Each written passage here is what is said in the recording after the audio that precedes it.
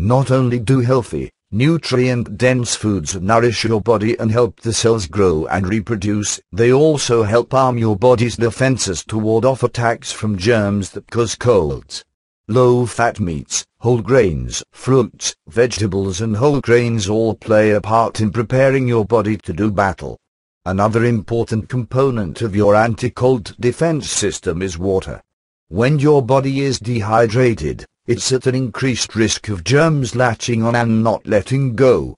So be sure to drink plenty of water and decaffeinated drinks to help your body stay hydrated and ready. Just one cup of yogurt a day may work to keep the gastrointestinal tract healthier, which can help ward off colds. It has to be yogurt with live cultures, as this is the key ingredient that helps keep the GI tract ready to rumble. And an added bonus to eating yogurt, recent studies suggest regular dairy consumption helps you lose weight or maintain a healthy weight. Garlic contains allicin, an antibiotic that has been shown to prevent complications from a cold in some research. Garlic can be added to many of your favorite dishes to spice them up and help you suit up to do battle against cold germs.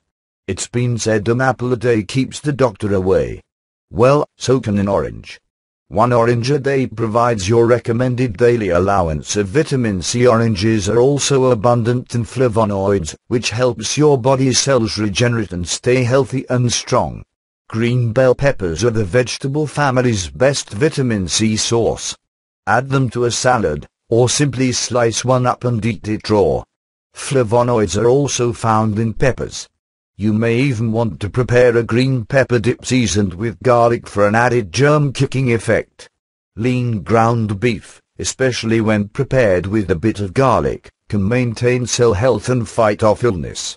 It's a good source of protein, selenium and zinc, and when eaten with a bit of tomato, is a great defense during the cold season.